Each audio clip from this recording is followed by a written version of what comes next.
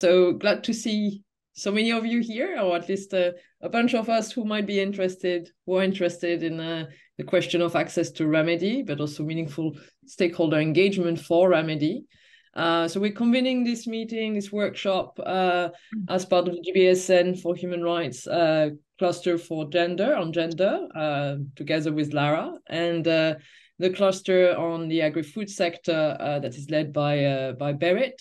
So we organized a meeting with a view to develop both the research and teaching agenda. I guess for business school, remedy is maybe not yet up there in terms of what we are researching, but also what we are teaching to, to our students, or at least uh, I know that for my colleagues, uh, they would struggle to understand if I tell them about remedy for human rights. Uh, let alone responsibility for human rights is still a, a big question for some of them.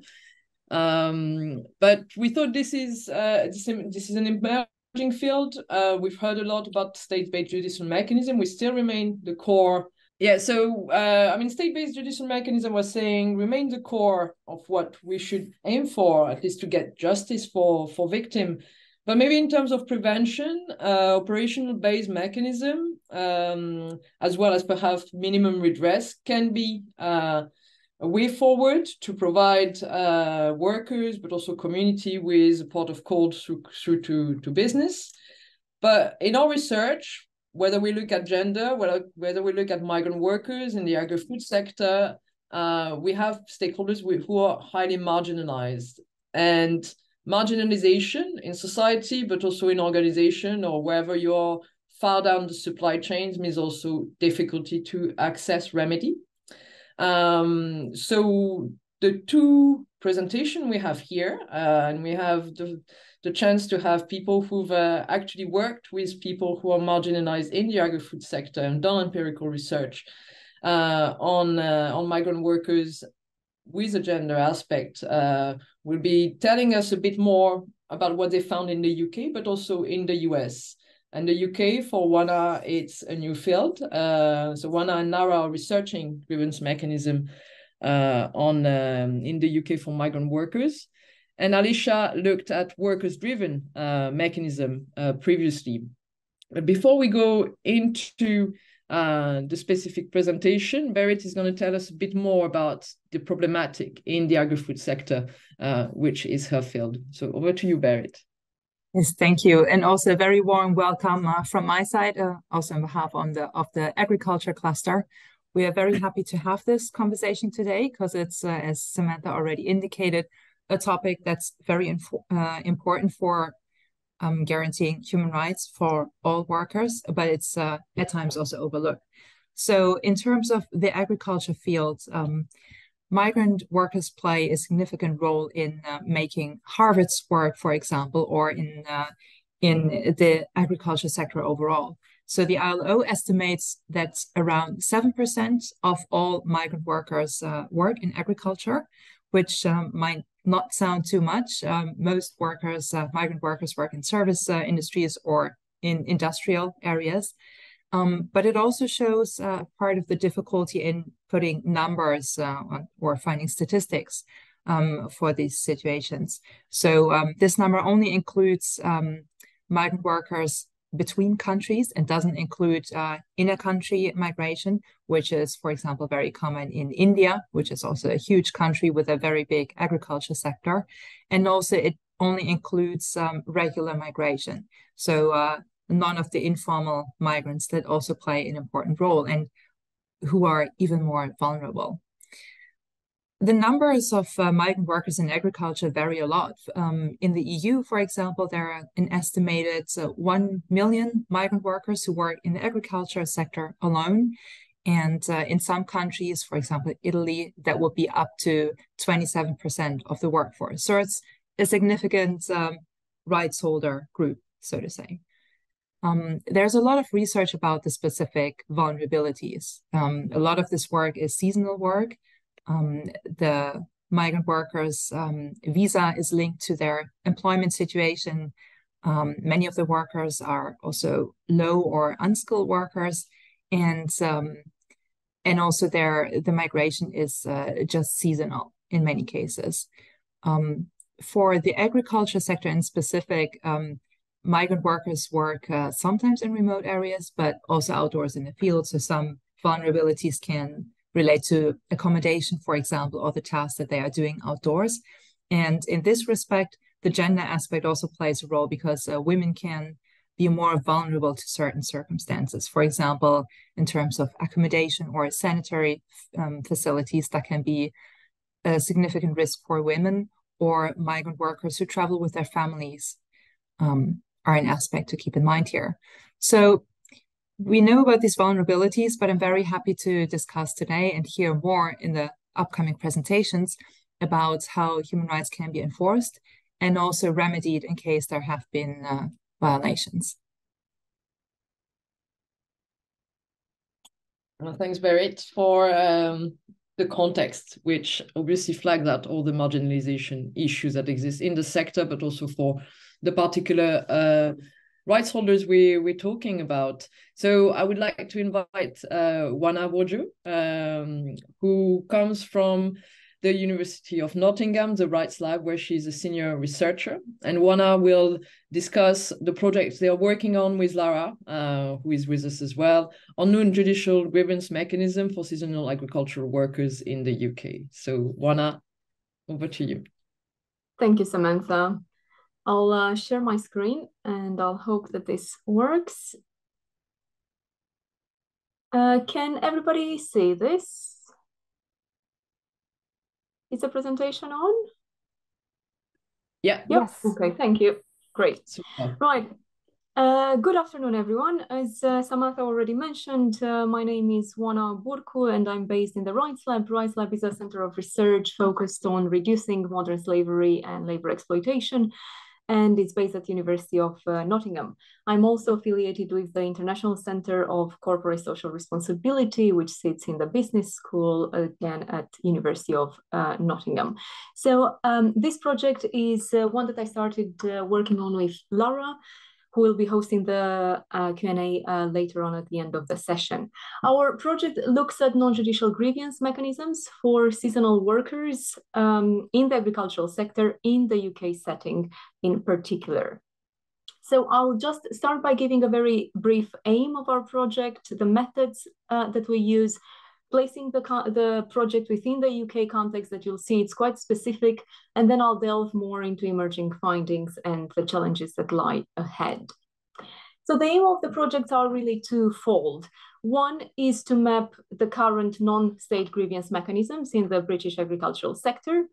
And second is to uh, at the end of the project to be able to propose a tailored and effective grievance mechanism for season, seasonal workers, which is aligned with the U UNGPs. The project has only started in August and it will end by July 2024 when we'll also uh, have an output that will be publicly available. The methods that we used um, are, of course, reviewing the, uh, drawing on the literature and reviewing um, the academic and grey literature as well, and conducting interviews and focus groups with a range of stakeholders. We aim to interview uh, growers, suppliers, supermarkets, workers, and NGOs. For the time being, the emerging findings that I'm going to talk today about are pretty much based on interviews with supplier, supermarkets, and NGOs. We haven't started yet interviewing workers. The interview guide that we designed draws pretty much on the literature that we consulted and on the um, grievance mechanisms effectiveness criteria as defined by the in the UNGPs. So let me move on a bit to the UK uh, context. Um, prior to Brexit, uh, the agricultural workforce was pretty much composed of Romanian and Bulgarian workers coming to the UK to work in the agricultural sector. Post-Brexit, things change slightly, and the demographics of the, the demographic of the workforce changed uh, completely, actually. So today, most of the workers come from Ukraine and some of the Central Asian countries. The specific thing about the UK sector is that workers pay for their own transport to the UK and pay for their accommodation while in the UK. So it's an employee mm, pay principle driven scheme. Workers are recruited in their home countries by six labor providers that are approved by the UK government. who then place them with respective farms in the UK. The body that is meant to oversee this scheme is the Home Office. However, the extent to which the Home Office is um, really overseeing or monitoring the scheme is a big uh, question mark. Workers only have six months, um, uh, are only given visas for six months. And as Berit was mentioning earlier, they are tied to their employer. Uh, they cannot change employers. Uh, they are tied to their labor providers, and they can actually ask the labor providers to change the farm that they are working on, but that's only subject to the labor providers approving that. And we have very little insight into that data because uh, nobody wants to make it available, as you would imagine. So we are talking at the moment about 45,000 seasonal workers who are in this situation, and the numbers keep on growing from one year to another. Let me move on briefly to a couple of systemic issues which are linked to the issues I already um, mentioned. So based on the literature and some of the interviews that we conducted, it became very clear to us that um, the Home Office places significant focus on the legal status that the workers have. Pretty much they are concerned with uh, immigration for political reasons or otherwise, but they're not really interested in workers' rights or welfare. There is a clear withdrawal of the state in the UK context from this um, area, which is really increasingly becoming self-regularized by private entities. There is also a lot of lack of data and uh, lack of data transparency about workers. We don't really know, for instance, uh, how many workers are dismissed. We don't know how many seasonal workers, how uh, if their contracts ends earlier than promised, earlier than six months. Um, we don't know how many transfers are approved when workers require one. There are a lot of missing pieces of the puzzle, uh, including the fact that uh, labor inspections on farms, for instance, are never made public. Um, in a recent case, for those of you who maybe follow the British news, um, the Home Office was forced actually to publish some reports from farm inspections, uh, but that was only because uh, there are a couple of journalists very active in this field, and through a Freedom of Information Act, they managed to uh, make that public. However, the Home Office redacted the names of all the farms and actually stated that if workers would know the name of the farms, they wouldn't want to go and work there. So it's better just to redact their names and not make that uh, public, which probably gives you a sense of uh, the approach that the body that is meant to be overseeing the scheme takes towards it. So the visa by design is highly problematic for some of the reasons that I already touched on. What grievances do workers have? Uh, pretty much the ones that uh, Berit already highlighted. Um, most of them are related to living conditions, to the treatment that they have from their managers, but also from other work colleagues. Um, of course, uh, working conditions can be an issue as well as pay dispute and dismissal. However, we see that in the next three bullet points, there is also um, an issue around expectations. It seems that um, the expectations that workers have about accommodation and contractual agreement don't seem to be met on the ground. And this is likely to be linked with recruitment processes. Perhaps um, is an ethical, unfair, or even illegal recruitment process, especially because six of them uh, state that they have actually paid recruitment fees. And this is actually one of the biggest vulnerability that we see in the, in the context of the UK, because uh, if you imagine a Nepalese or Indonesian or um, Kazakh worker coming to the UK, they would have to incur the cost of their flights and of accommodation in the UK, for which they are likely to take a loan or incur a debt. So workers are more likely to be subject to exploitation and to accept that exploitation to some extent um, because they have to pay back their uh, loan and debt that they incurred. Other grievances that we identified is are related to performance targets. Uh, workers are often threatened that if they don't perform to a certain level, uh, they will be dismissed. Of course, there's no guaranteed period of work. They may be told they will have a contract for five years, but if the weather is bad, pretty much, and the farmers cannot ensure them five months of work, then they will be asked to return to their home countries earlier, and they will be the ones who will be incurring the costs of organizing flights uh, for the next week, let's say, and paying for that change rather than uh, next month when their, their contract would have ended. And then there is all the issue of contracts not always being translated or given to workers.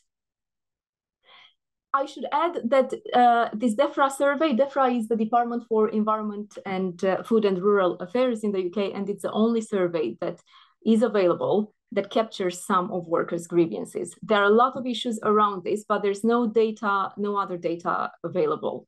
And I'm happy to talk more about this perhaps um, later on. Let me move on to something that uh, perhaps is more of interest for um, those of you um, teaching business management, perhaps. So, so far we interviewed mainly suppliers and supermarkets, and some of the emerging findings were that uh, there was a very broad understanding of what grievance, uh, grievances uh, and grievance mechanisms mean.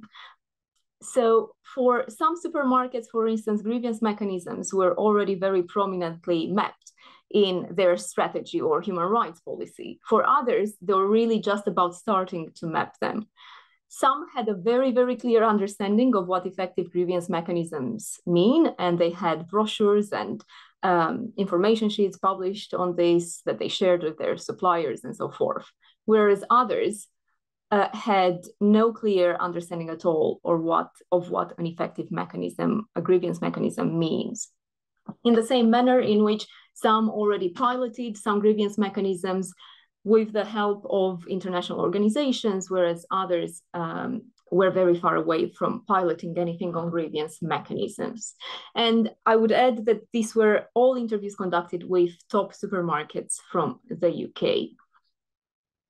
What united them all, though, in their answers was the fact that supermarkets often perceive themselves as being an escalation point. So their view was that they only interfere when something is flagged to them directly through unseen helpline and i'll explain a bit later what this is but basically it's a national helpline that workers can call or when an issue uh, reaches the media spotlight and then they are forced to act and interfere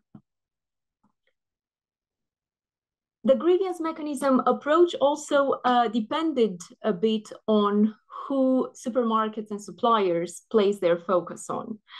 So some focused a lot more on workers, and they thought it was crucial to um, ensure that workers are informed about the system that they're coming into, the rights that they have, um, the risks that they may be exposed to when coming to the UK and how they can, they can mitigate those. And the preferred option is this uh, Just Good Work app, which is funded by the supermarkets in the UK and uh, workers can freely download on their phones. Another approach towards workers, uh, workers-focused approach is uh, the fact that, of course, supermarkets are very keen for their suppliers to promote such grievance mechanisms. Others um, took a much stronger uh, stance on focusing on their suppliers or growers, or suppliers focusing on growers. Uh, for instance, they were very clear that um, they will start requesting at least their tier one suppliers to have grievance mechanisms in place. That they were they were also clear that they can use the size of their uh, business and the scale of it to leverage their influence over uh, suppliers. Uh, and some of them were very, very active in providing uh, support to their growers, for instance, in the case of suppliers. So they provided empirical research, training, informative materials, uh, and ensured that um, growers were up to date and implementing they, that they were implementing those. So very um, in a in brief, a very wide range of understanding and approaches to grievance mechanisms. Another thing that got our attention was uh, the fact that they there are quite a lot of grievances, um, gr grievance mechanisms available, and many thought that this was rather confusing for workers.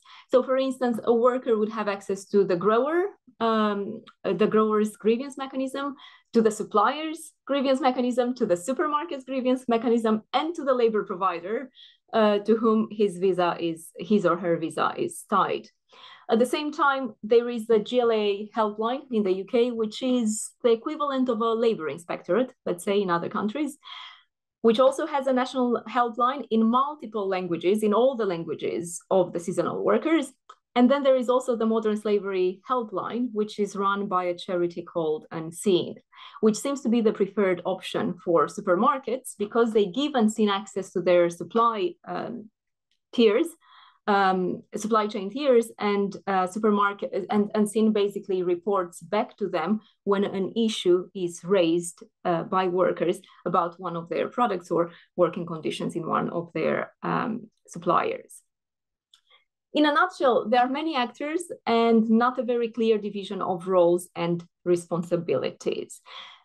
For this reason, some have called for a centralized initiative that runs across industries so one legal framework, uh, one, one single framework for a grievance mechanism, where basically you have a call center available to all workers uh, in the UK or in one uh, industry or more.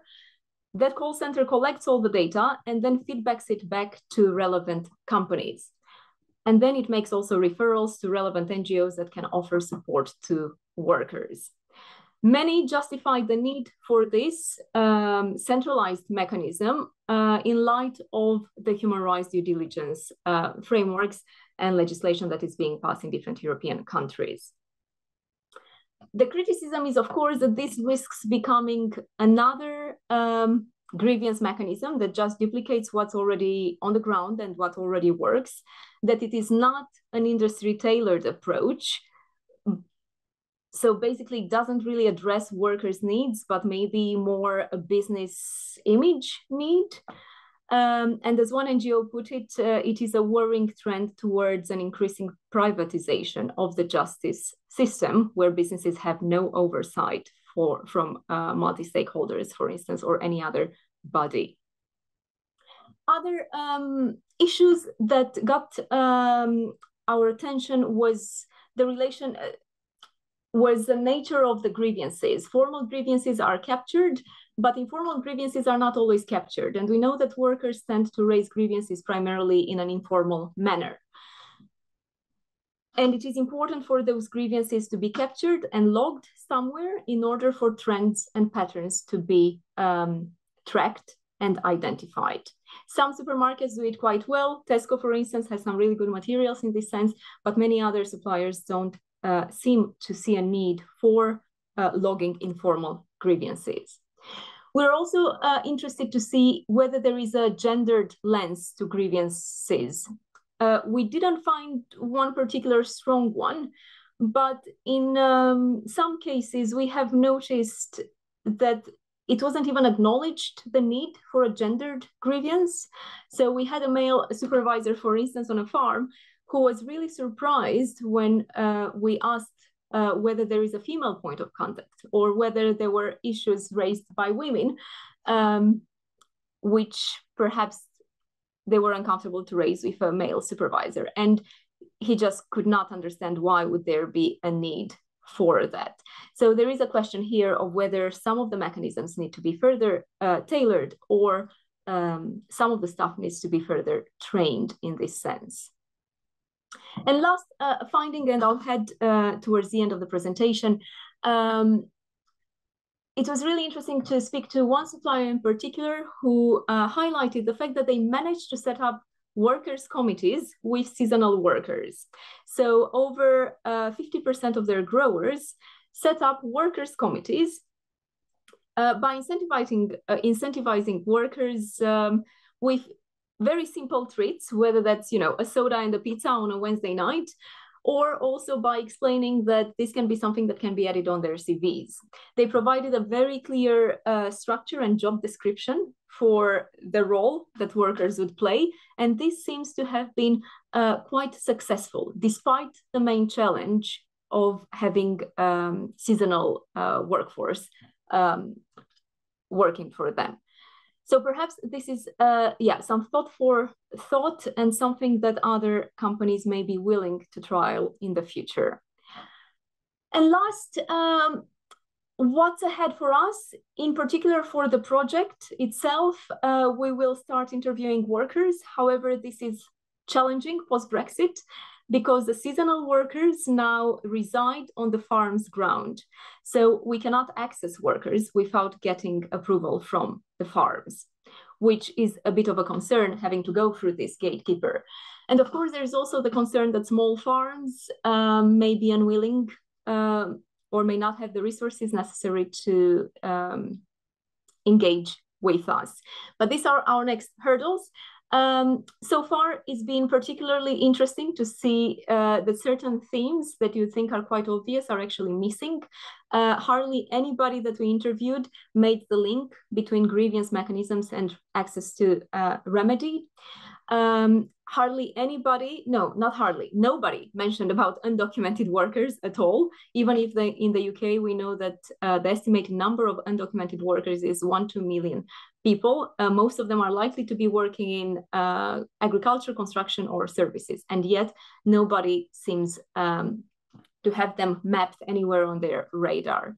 And of course, something of interest and that we will uh, follow is the impact that human uh, rights due diligence will have on grievance mechanisms and this uh, increasingly privatized um, role of private companies in managing grievance mechanisms. Thank you all very much for listening. And uh, if you're interested to talk more about this, by all means, please feel free to get in touch with Lara or myself. Thank you.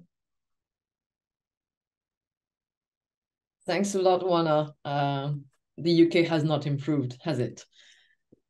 I mean, yeah. Uh, it seems. I mean, it, it seems that once upon a time. Sorry. I'm afraid not much since you left, Samantha. No, it seems to be. Uh, there was something called the Modern Slavery Act at some point, but I guess the government forgot about it or something. Guess uh, who manages that? The Home Office as well. oh wow! All right. So, well, the government needs to do its human rights due diligence to start with, and then see for the supermarkets. But I that's was eliminating a number of um, practices, or at least grievances, they are trying, uh, and the way it is being privatized. But um, before we open question for you, I'd like to also invite Alicia to bring a different perspective because it seems from what she's uncovered also with Lara. Um, there is more of a tradition around workers' grievance mechanism in the US, um, and perhaps something that the UK could learn from. Or since you mentioned the workers' uh, committees, uh, we have a, another solution and see if it works or or not. So, Alicia, uh, the floor is yours. Great.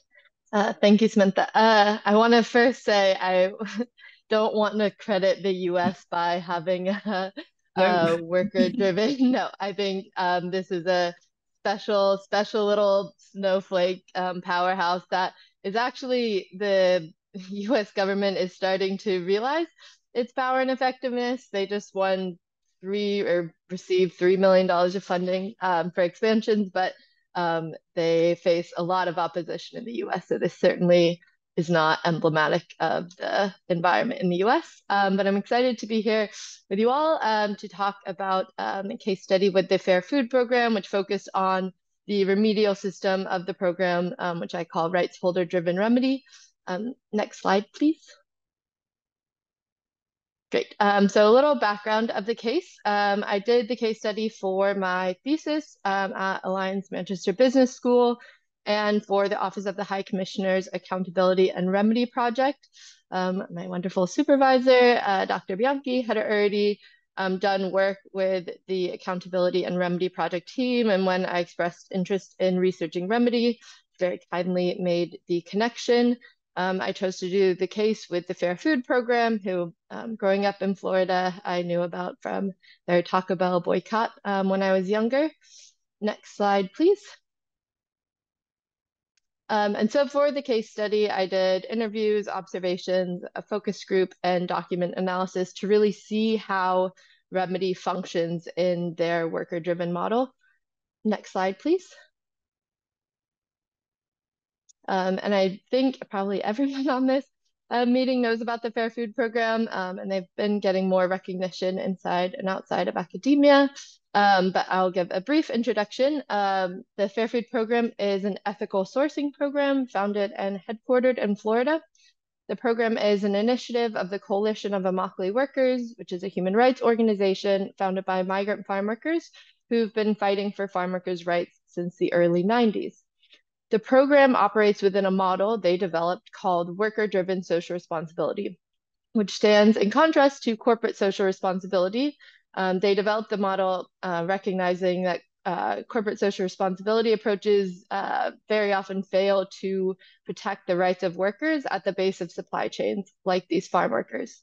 So, in the worker driven social responsibility system of the Fair Food Program, participating brands, like the ones you see on the slide, um, sign a legally binding contract with the Coalition of Immokalee Workers that says they'll only purchase Fair Food Program crops, which are usually tomatoes, but they have expanded to other crops um, and states, um, from Fair Food Program growers who have been determined by an independent monitoring body, the Fair Food Standard Council, to comply with the Fair Food Code of Conduct which was developed by farm workers, so it addresses actual farm worker issues. And the remedial system of the program, those are requirements in the code, which I will go through in a minute. Next slide, please. So once I gathered my data from the interviews and observations, um, focus groups, I analyzed it through a variety of different lenses from accountability, critical theories of justice, racial capitalism, and legal frameworks. But the overarching kind of elephant in the room about barriers to accessing remedy, especially for marginalized workers, um, is power. And that's something that we don't talk enough about. Um, in academia, we do, I feel like, but in um, still talk about it more. And in practitioner world, this huge power imbalance between these workers makes accessing remedy just out of the question, right? Um, and the way the program approaches this power imbalance is really interesting because you're not, they realize you're not going to get rid of the power imbalance. There's no way. But if you can find structures and safeguards to somewhat redistribute power to the point that remedy is possible, that protecting rights is possible, that workers can be given a voice in spaces they hadn't had before, you can work within this context of power imbalances. So there mod, the motto of the coalition is conciencia más compromiso es cambio, which is consciousness plus commitment equals change. And so if we start with consciousness, it's not enough to, according to the program, um, to reflect on or to realize that there is power imbalances. You have to critically reflect and investigate this power imbalance. Like, what is this? What is the true source of those power imbalances, and what is the trajectory, and what are the impacts of those this power imbalance. And that critical reflection is really the origin story of the Fair Food Program. There was a group of farm workers in South Florida who would meet to organize to talk about their conditions. They organized actions against their direct employers, had boycotts and protests to demand higher wages and better conditions. And while they were effective to up to a point, um, they still weren't being treated like humans. Um, and they realize in these discussions that, okay, so their direct employers certainly have more power than them, their crew leaders have more power than them. But the ones with the real power are the brands at the top. Um, so they realized that if they can harness that power, that will be able to redistribute some power to workers and they can gain some power over their direct employers. And so that's why in the worker driven social responsibility model of the Fair Food Program, the brands that's who they're with, or the legally binding agreements, that's who they're with. They're with the brands at the top. And with those agreements, they're able to use market consequences to gain some power over their direct employers. So now they're direct employers, whereas before, like if a woman had reported being like repeatedly sexually assaulted by her crew leader, and she said something before, even if they knew, like everyone knows a lot of the, these times, um, they'd say, okay, well, this woman, you know, she's been with us for like six months. We can get another one, but this crew leader, you know, he's been loyal to us. He's been with us for 20 years, whatever. But now, under the program, because of this enforcement, if they don't do something about that supervisor, then they can't sell their tomatoes to Walmart. They can't sell their tomatoes to McDonald's. So now they're being forced to kind of protect workers' rights, to remediate workers' rights. Um, and that's really powerful. So that's the enforcement piece. And then alongside that, they have the education piece, um, which they really put a lot of emphasis on education being a component in the remedial system. Um, the executive director of the Fair Food Standard Council, she told me, I don't know what kind of audit can be accomplished without uh, an effective or an, an educated workforce because these workers, they're taught to keep their heads down, stay silent. But if you have an educated workforce who both knows their rights and knows that they are protected to enforce those rights, it's a different ballgame altogether. So the program puts a lot of emphasis on um, ensuring that workers know about their rights, but also that they know what to do when those rights are violated. Um, so they have these worker-to-worker education sessions that they do on every farm where they engage in popular education so workers know about their rights and what to do um, when those rights are abused and why it's important to report because the remedial system only works if workers use it. Um, and they usually try and do these sessions like a week or two before the audit to really make sure the audit can be effective. Um, next slide, please. Um, and this is a diagram of the remedial system of the Fair Food Program. Um, and even the idea that remedy should be um, thought of as a system was a huge insight from the program because very often in these circles and circles I participate in all the time, we talk about individual mechanisms, how to make a mechanism effective, what does an effective mechanism look like?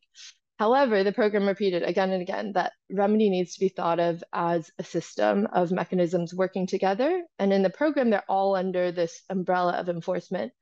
Again, the executive director, she told me um, it doesn't matter how well designed a complaint mechanism is or how well trained auditors are, or how well informed your audit approach is. Those things, she said, those things are important, but if you're not, if they're not operating in a context of power, it's not going to matter. And in the program, that context is established by the enforcement mechanisms of the legally binding agreements and the market enforcement. And so within under that umbrella, um, they have audits. Um, they speak to over 50% of the workforce um, during the audits. And they, um, out of earshot of supervisors, they do the education sessions right before. And the auditors also uh, manage a 24 hour complaint hotline. Um, and having the same people do both is powerful in way, ways that I hadn't even thought of. they have a database where they upload hotline data and complaint line data um, to make investigations more efficient. Um, they also inform they do audit prep sessions before every audit so they can look at the complaints that have been coming in to know like particular actors to look out for or issues that have come up in particular farms to add that additional emphasis so they're not going into audits blind. Also, Anna, I was thinking about um, when you were talking about all the different um, lines and grievance mechanisms, and there are, they have the Fair Food Standard Council has a hotline, the Coalition of Immokalee Workers has a hotline, and the growers are required to have a hotline. But the, it's a uh, requirement in the code that the, they all have to share their data with the Fair Food Standard Council. So there is different options because I think it is important for workers to have different options. Um, but the, all the data is, you know, consolidated and another thing I was thinking too was because uh, another benefit of having them run by both, the, the auditors were telling me like we can go when we're speaking to workers during an audit, we can give them our card and say, you know, if there's something else that comes up or something you didn't want to talk to, about today, like call me, I will, or call this number, I will answer, or someone in this field will answer. And they said that's really important because sometimes workers are calling about really sensitive issues and they don't want to call an anonymous call bank, which I think is also an issue with having one centralized where like our workers really going to feel comfortable um, reporting um, certain kinds of issues. Um, education we have um, as a center of the umbrella for um, the reasons I explained that remedial mechanisms really rely on the education approach. Um, they have health and safety committees, which um, Alana, like what you were talking about, their requirement of the code that every farm has to have one and they're made up of management, decision makers, and at least one worker from each crew. And they meet monthly to discuss um, work and health, work and uh, or health and safety issues at the workplace. Um, and again, this is another mechanism to uh, give some power to the workers in spaces where they never had them before. And some of the farms were telling me they do similar um, incentives bonus. They have some have T-shirts and you get um, dinner and things. And some workers were telling me about, or yeah, that they were on the committees. And some workers are really proud they wear shirts, and so people know that they can um, report issues to them and they'll bring it to the committee. Um, and then finally, there's the fair food premium, which is that extra penny per pound paid, which could say is a form of economic power um, redistribution and establishes a link between the brands at the top and the workers at the base. Next slide, please. Um, and quickly, I just wanted to mention um, two groups of workers that are particularly um, relevant to these discussions uh, and the research of both these groups of um, women farm workers and H2A workers. So women farm workers, I won't go into all the reasons why they're um, as vulnerable as other the other farm workers, but um, exceedingly vulnerable uh, due to their uh, vulnerability for sexual harassment, sexual exploitation, um, and uh, if they have families to feed and having to make these decisions to you report a complaint or feed their families. One woman told me, you know, they'd say, you say something like best case scenario, you get fired, but probably worse. Um, and this is the environment of agriculture, women workers in agriculture. A study found in the US over 80% of women um, farm workers had experienced some form of sexual harassment. Um, and so, how do you even begin to provide remedy for these women? Um, and I think the program approaches it the same through education, enforcement, and also understanding that it's a process that, you know, you can't just tell these women who have lived in this culture of retaliation, culture of silence for so long that, oh, now you have these rights, you're protected, you can report these complaints and expect them to just believe right away. And so the beginning seasons of the program where um, there wasn't a lot of use on um, women reporting sexual harassment, um, but as some cases came in and they did investigations and really notorious crew leaders who everyone knew that they were sexually assaulting women um, were suspended, were fired, were for blacklisted from working at any fair food program farm. Then the women see those results and they start to believe it. They had, we call it a use results trust cycle. So it gets used, they see the results, and auditor said the proof is in the pudding. That's that's what makes women trust it. When they see the results, um, then they use it more. And when they use it more, you get more results and then you trust it more. So it makes this really kind of empowering cycle.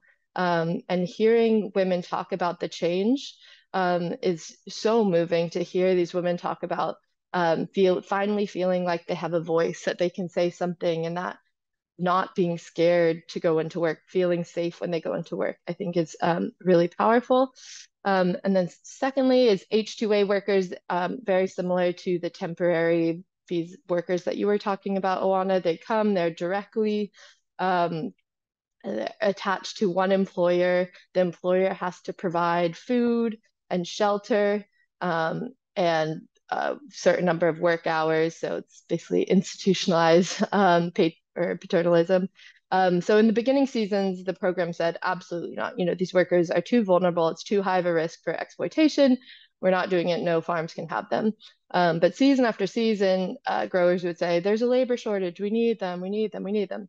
And so the Fair Food Standard Council started doing some investigation, and it was actually a farm worker's relative, who's also a farm worker in Canada, had come through, they called it a clean, clean channel, clean pathway um, through the Mexican Secretary of Labor's Welfare um, National Employment Service.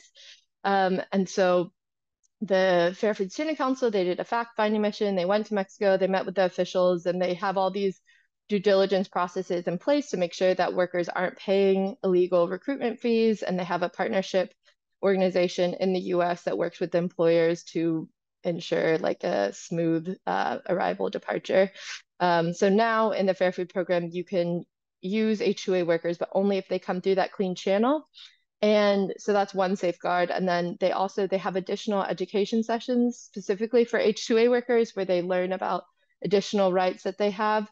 Like their minimum wage is actually a bit higher and they get the food and the um, food and the shelter and they shouldn't pay the recruitment fees. And then during audits, they have like they make sure they speak to a certain percentage of H2A workers about their conditions to make sure that there aren't any uh, violations occurring specific to H2A workers. Um, last slide, and then I'll wrap up. Um, I thought I'd end by showing some statistics about the violations um, or number of violations since the start of the program. Um, this is a nice way to see that um, use results trust cycle or thing because as the program um, progressed, um, there were more violations and not that wasn't because more violations were happening, but because more workers trusted the remedial mechanisms of the program. Um, and you can see the number of severe violations has decreased significantly since the start of the program. Um, the Fair Food Program likes to say effective remedy is preventative remedy. And so when violations come in, they're not just remediating singular cases, surface level issues, but they really try and um, dig down. They say dig down deep to the problem, work backwards to see the root to see the root of the problem and see if it's happening to other workers. Is it systemic, and how can we prevent it from happening in the future? And they do that through a combination of enforcement and education um, for these worker-driven standards. Thank you all, and I look forward to the discussion. Oh, I should also mention the program, it's expanding internationally right now, um, and I'm really looking forward to seeing how the remedial system adapts to these different uh, geographic and sectoral contexts. Uh, thanks a lot, Alicia. A uh, lot to learn from uh, from this experience, even if uh, the US perhaps is not the, the best place. Uh, I'd like to invite Lara uh, as uh, our discussant, but also who will take on the, the question, the role of taking question from uh, our participants.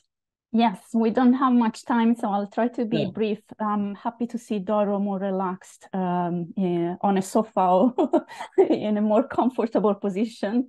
Um, so the the um, purpose of today was actually to start a conversation and to see who was out there uh, interested in the space of uh, access to remedy, um, specifically uh, in business schools. So we want to see if uh, business schools and business management scholars do have a, um, a, a, space to claim back uh, in terms of contributing to both research and teaching on um, remedy and access to remedy. Um, mm, Samantha mentioned this. I've been teaching business and human rights for years now, and I mentioned remedy en passant is definitely my main purpose is for students to understand the responsibility of businesses to our, towards human rights and I just don't have time to uh, go deep into remedy but maybe it's something that we should change.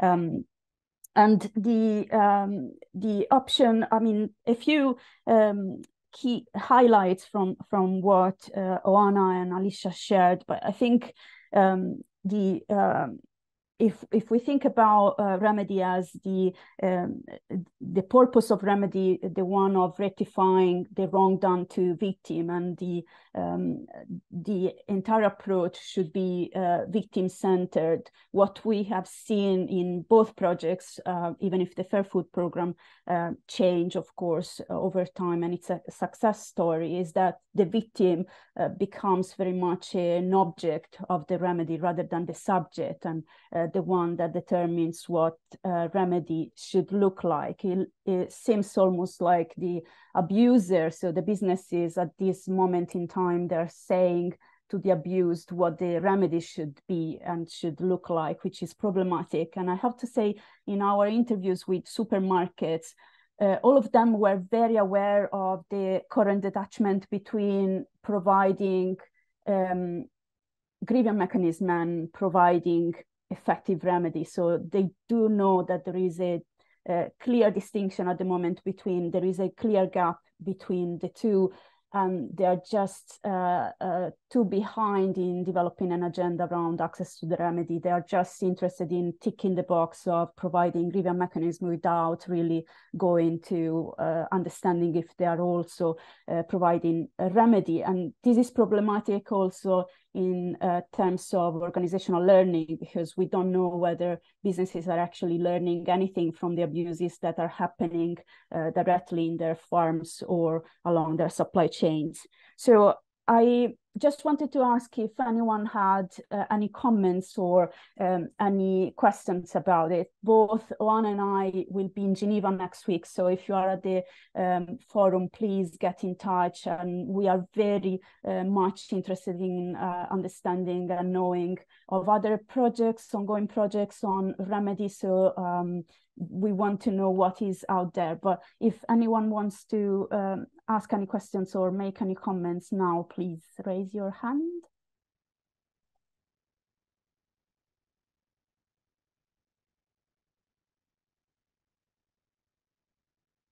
I, I can make a comment. Please, Dan. you know, I was listening curiously, you know, not only for the content what's being learned, but kind of uh, what what I would love to have a discussion about, perhaps in Geneva, is you know how can we um, build? I, I call it connective tissue between folks like yourself and the organizations and um, companies that are engaged in this kind of work and thinking about it as some sort of opportunity to create some living labs where we can learn as we go and adapt and inform and impact through the the research. Because it you know that last comment that you made our businesses learning from what's happening. Eh, my guess is is probably not because my guess is they're probably not talking to each other or collecting the kind of data that they need in order to um, build this into the organizational learning. And it strikes me that that might be a role that business schools can play if we're able to sort of build that connective tissue. It's just something to think about because it's you know at gbsn you know, our role is to improve access to quality, relevant, locally relevant management education. But I'm I'm still old school. I think education um, is informed by research, and so the more we can make that real time, the better. Uh, the more we could potentially connect it with exec ed or other kinds of um, continuing education, the better. So um, just a comment, no need for any reactions, but love to talk with the team about that next week in, uh, in Geneva. Perfect, thank you, Don. And I can confirm companies are desperate uh, for help. Um, they are mm-hmm. relying on very expensive consultants at the moment. So more research from business schools might help also that cause. Anyone else? Yes, yeah, if, if I may, in this context, I'm excited about the case study of the Fair Food Program because I'm such a believer in documenting also what works to help develop models um, that others can copy. And I think for your project, Lara and Oana, the re a reference to the Fair Food Program, you know, might help to make the case for the UK context. And uh, your comment um, on you know, are we teaching remedy in my business human rights class? It's like in yours, a hardcore side note. I mentioned the pillar, but I don't elaborate on it. But I do want to change that next semester. I have a guest speaker invited, and I would love to have your papers as background reading to at least, you know, um, show there is something happening in the space. There are no rights without remedies. And I sidelined it until now because I want to work on the front end of of um, preventing violations. But Alicia, you now convinced me that um, it's both remedies, not just um, you know yeah. what happens after the fact, um, but uh, the existence also helps to preempt. And then yeah. what I took down, no longer have access to, is the you said what cycle result trust use result trust cycle. I think you said yes yeah um that um i think is super interesting which definitely corresponds with experience i made in in uh, oh, almost 20 years ago field work. I did with the fair labor association. Um and again i think there's a link to um lara and project where apparently there is a drive towards consolidation of the various grievance channels.